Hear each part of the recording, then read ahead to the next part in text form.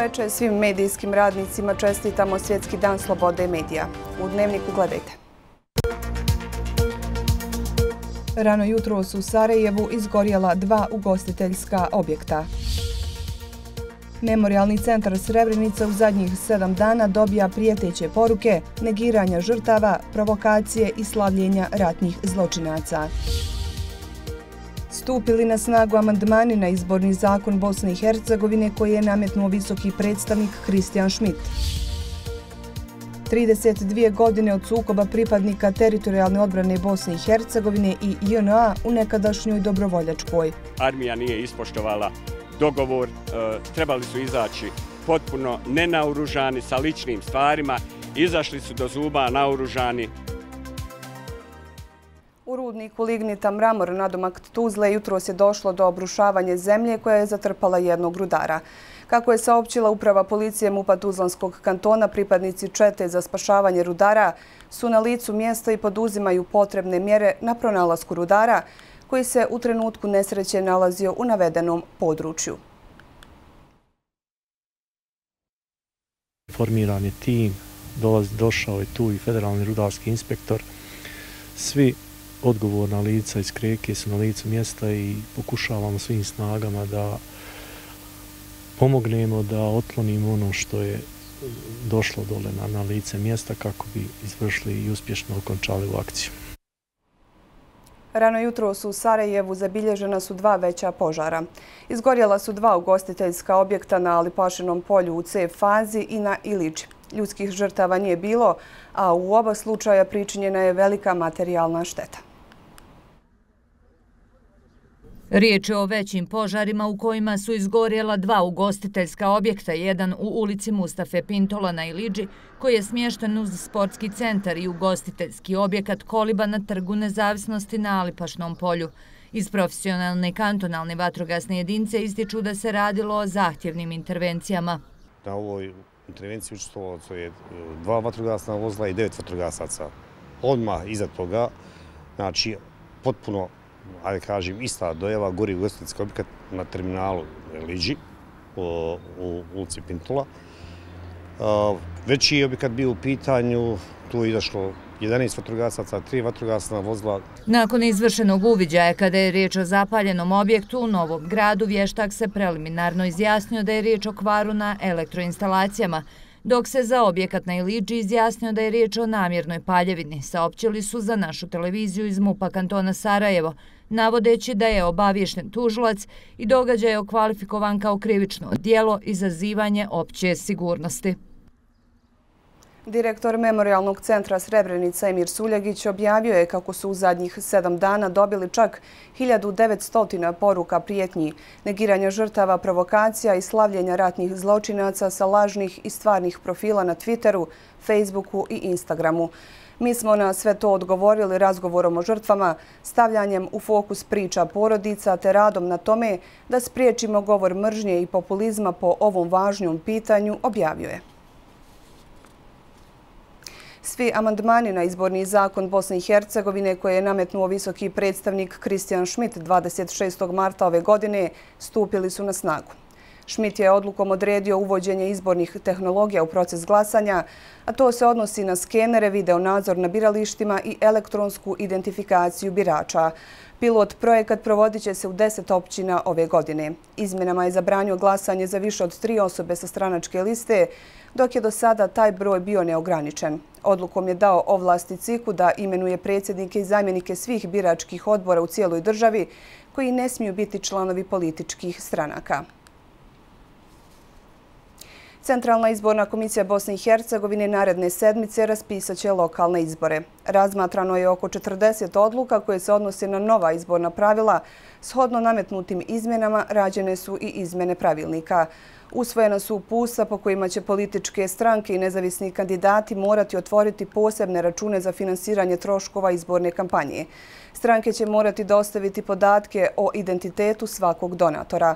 Šmitove izmjene propisuju da se političke stranke i nezavisni kandidati neće moći kandidirati na izborima, dok CIKU ne dostave izvještaj o svim transakcijama na računu za izbornu kampanju.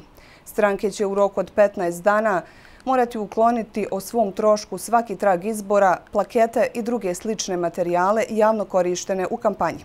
Stranke će se morati odreći korištenje javnih resursa. Zabranjena je i promocija političkih subjekata ili kandidata na javnim događajima ili manifestacijama koje finansiraju javne ustanove ili javna preduzeća neka su od usvojenih pravila.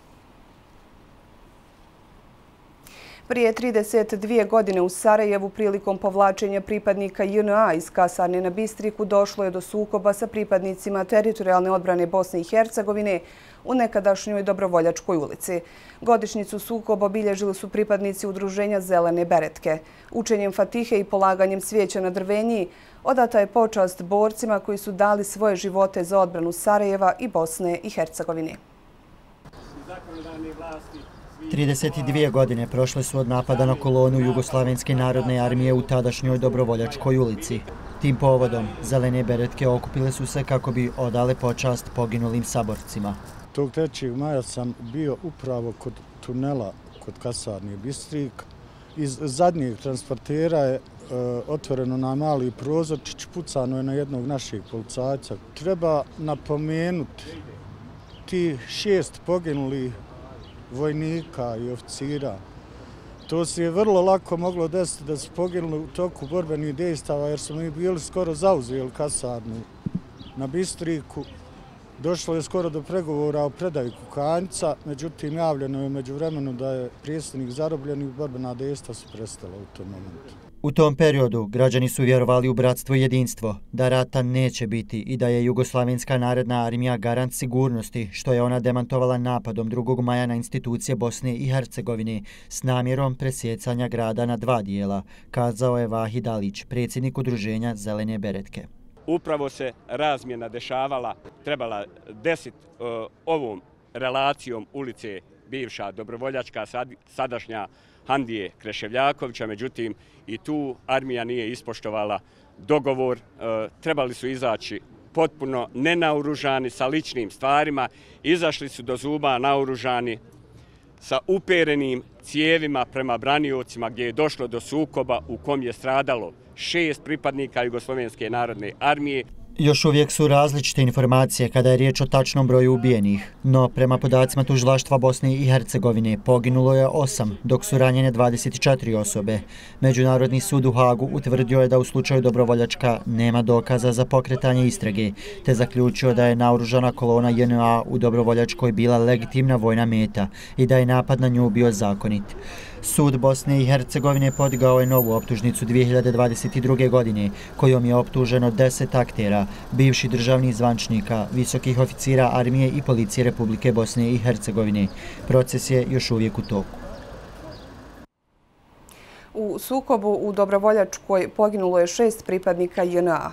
Sve se dešavalo u okviru dogovora da se predsjednik oslobodi Izetbegović, koji je trebao biti razmijenjen za generala Kukanjca i ostale članove komande JNA.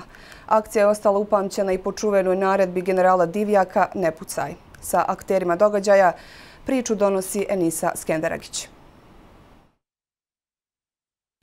Dok se 2. maja vodila presudna bitka za opstanak Bosne i Hercegovine i kada je spriječeno zauzimanje zgrade predsjedništva i podjela Sarajeva, na Sarajevskom aerodromu dešavala se drama. Uhapšen je predsjednik predsjedništva Republike Bosne i Hercegovine Alije Izetbegović, koje su izvele jedinice JNA predvođene generalom Vojislavom Đuđevcem.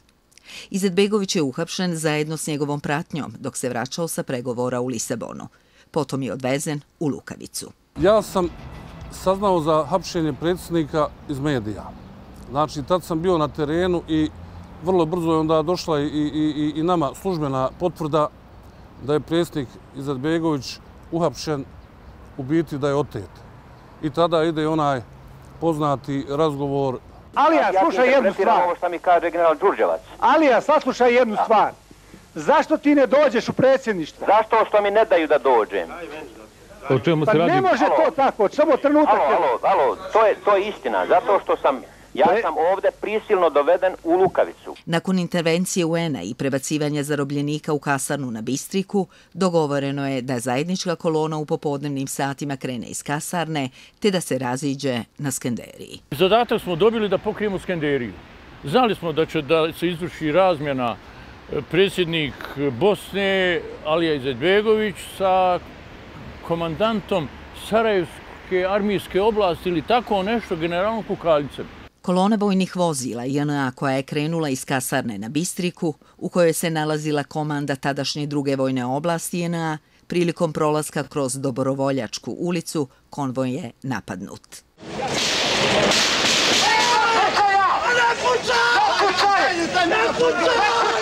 Ja sam u parku, dok sam čekao, znači dok smo čekali tu razmjenu predsjednik e, u predsjedništvo, kukanca vraćaju i u tom momentu kad su oni vratili kukanca u, u, onom, u onom njihovom oklopnom vozilu, ja sam e, ovim protivoklopnim sredstvom nanišanio taj, taj, taj bov i u glavi mi je išlo to da li da pucam, da ne pucam, da okinem, da ne okinem. Znači da sam okinuo, pogodio bi bov, međutim, komandir na, na, na, tom, na tom potezu, tad je bio Gafić, me ufatio za rever od kragne, mrčo, nemoj slučajno da bi pucao. Mogao sam da, da, da, da, da, da naredim ovome ovaj, specijalcu koji je nepogrešiv bio, da, da puca na transporter ako krene još metar jedan. A na ovim, na ovim razdaljinama to se moglo čovjeku i učiniti. Dakle, za dlaku tad se moglo desiti, moglo se desiti da upusamo Aliju. Predsjednik predsjedništva Republike Bosne i Hercegovine je pušten malo dalje, pred sportskim centrom Skerderija, odakle se vratio u zgradu predsjedništva nekoliko stotinja metara dalje. General Kukanjac je s konvojem stigao u kasarnu bez daljnjih incidenata. Šta mene najviše vređa?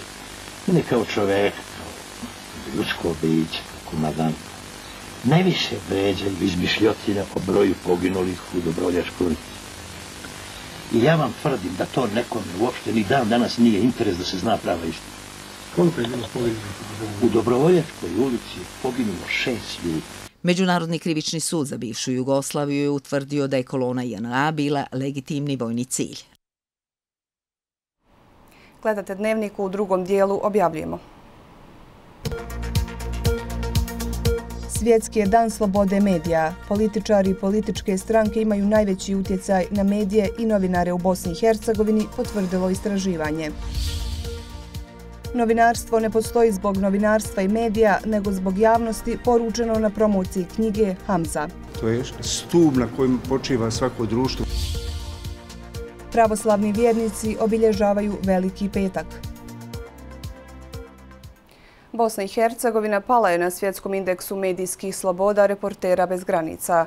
Nalazi se na 81. poziciji u odnosu na prošlu godinu kada je bila na 64. mjestu i ove godine je najviše nazadovala od svih zemalja Zapadnog Balkana. Ovi podaci su zabrinjavajući i predstavljaju problem cijelog društva poručeno tokom predstavljanja rezultata istraživanja o temi medijske slobode u Bosni i Hercegovini u 2024. godini koje je uradilo Udruženje BH novinari i organizacija Friedrich Ebert Stiftung u Bosni i Hercegovini. Istraživanje je pokazalo da političari i političke stranke imaju najveći utjecaj na medije i novinare u Bosni i Hercegovini. Probleme kada su u pitanju nasrta i na medijske slobode generalno novinare, njih najviše stvaraju političari, jer mnogi građani zapravo uzimaju sebi za pravo da upravo rade ono što njihovi političari zamišljaju i što kreiraju. Mi zbog toga i tražimo mnogo, mnogo veću efikasnost pravosudnih institucija i nultu toleranciju kada su u pitanju bilo kakve e, sigurnosne prijetnje novinarima. Najveći problem u Bosni i Hercegovini je upravo visok procenat opravdavanja napada na medije i novinare. To se ne vidi u tolikoj mjeri u zemljama regije i to je zaista nesretan trend. Također, uvođenje zakona o kleveti u RS-u je još jedan primjer velikog ograničavanja slobode medija koji je u potpunosti u suprotnosti sa regulativama Evropske unije i nadamo se da će u budućnosti ovaj zakon biti povučen ili se neće primjenjivati u praksi. Novinarstvo ne postoji zbog novinarstva i medija, nego zbog javnosti u jednoj državi, poručio je dugogodišnji novinar Boro Kontić na promociji knjige Hamza, autora Hamze Bakšića. Promocija je upriličena simbolično na Svjetski dan slobode medija. Knjiga je ponovljeno izdanje priručnika, obuhvata novinske komentare, autorske memoare i upute za novinare koje je tokom života bilježio Bakšić.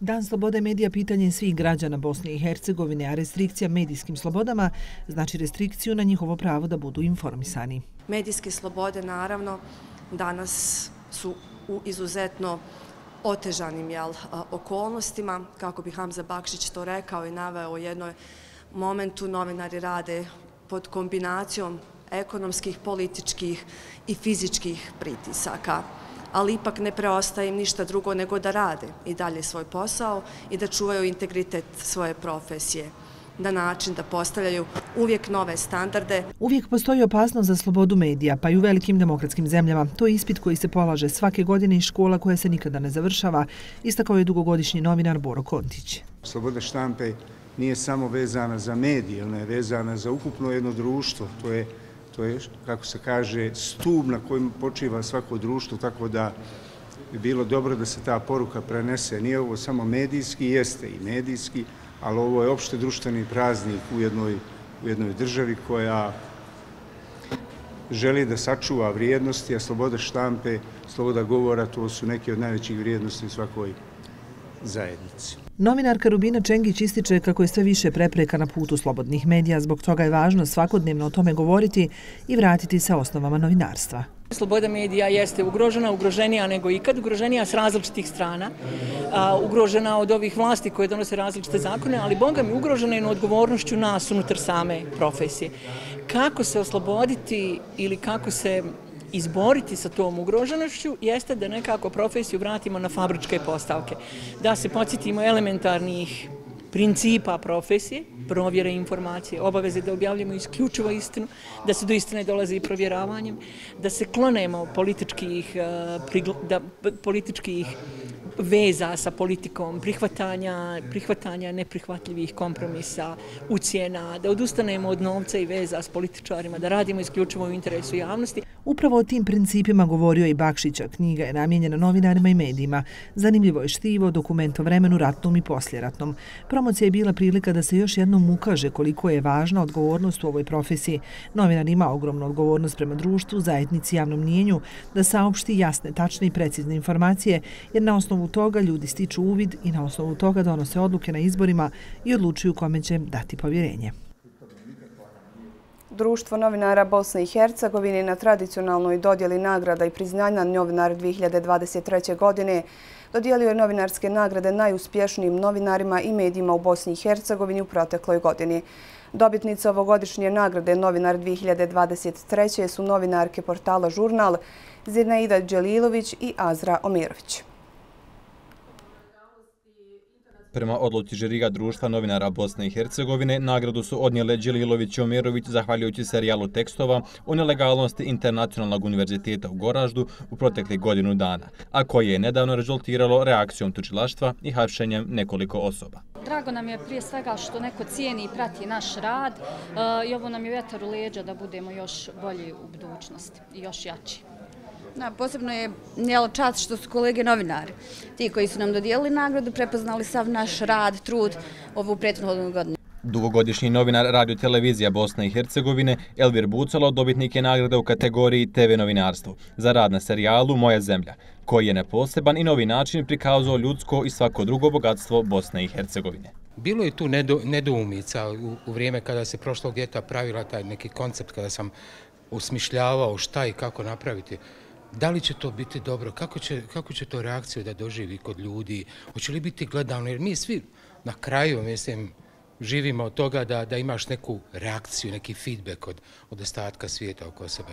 I evo, ovo je, ovo je e, stvar koja je potvrdila da smo zaista na pravom putu. Priznanje za životno djelo dobio je novinar i publicista iz Tuzle Zlatko Dukić, iza kojeg je 50 godina novinarskog rada u medijima. Kada sam dobio informaciju o ovom priznanju, prvo sam bio zbunjen onda iznenađen, prijatno i na kraju zadovoljan.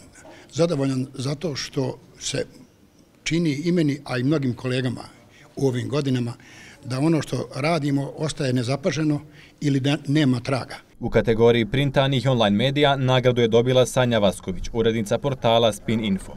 Radio Konjic laureat je u kategoriji radijskog novinarstva. Dodjela priznanja i nagrada je doprinos u novinarstvu koje može ponuditi društvo novinara Bosne i Hercegovine. Uz poruku da bez slobodnih medija nema slobodnog društva niti slobodne riječi za kojom žudimo više nego ikada.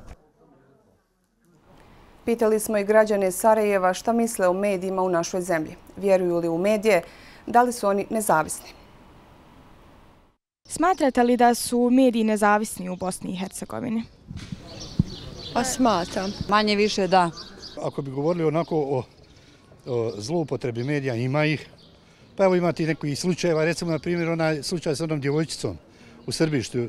To se razvlači po, po, po medijima.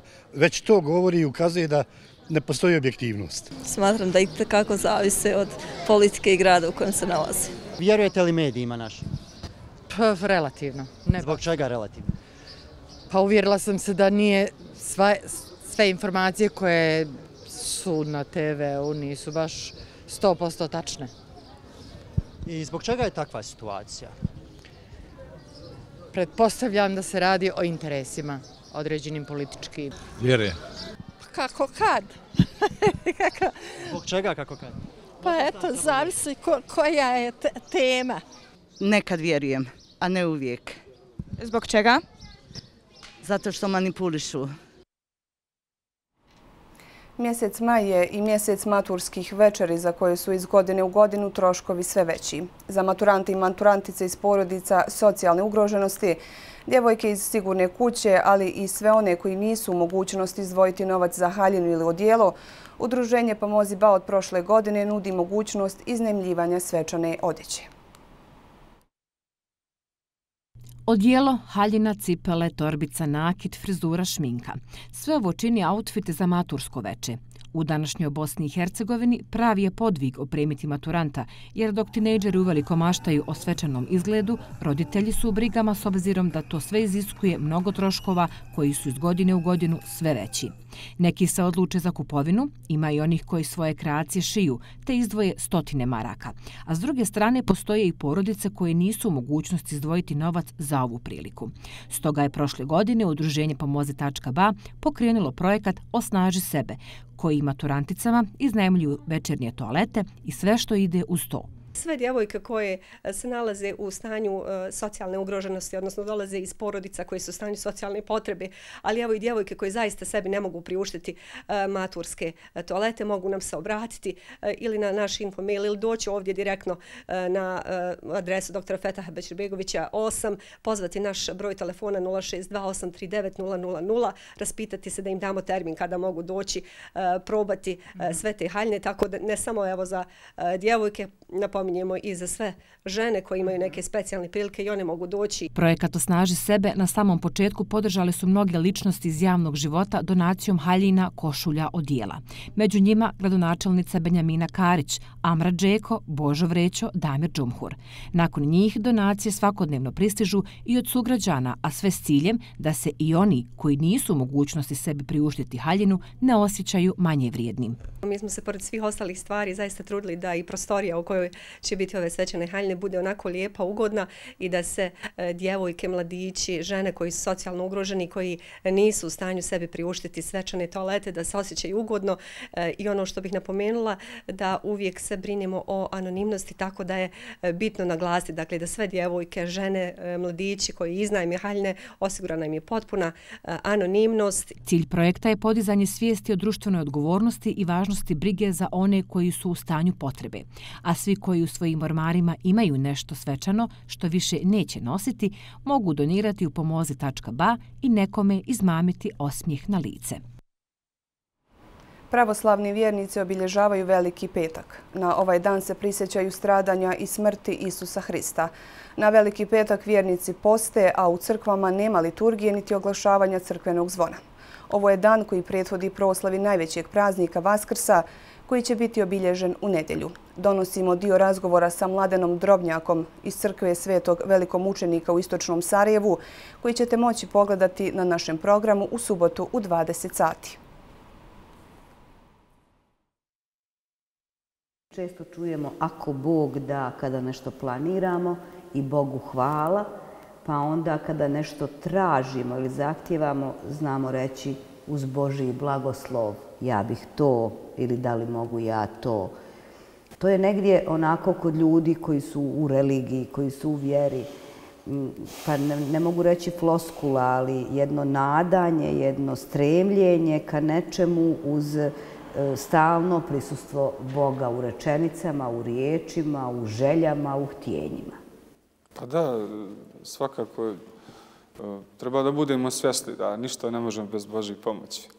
Kao što kaže e, psalmopjevac David, ako gospod ne gradi dom, uzalud se trude zidari, ako gospod ne čuva grad, uzalud ne spavaju stražari. Tako da ništa bez Božje pomoći ne biva i zato eto, to je negdje ukorenjeno u, u svima nama da bilo šta da radimo, tražimo Božju pomoć. Sve smo da bez, bez, bez Božje pomoći ne bi ništa uspjeli, ne bi ništa uradili.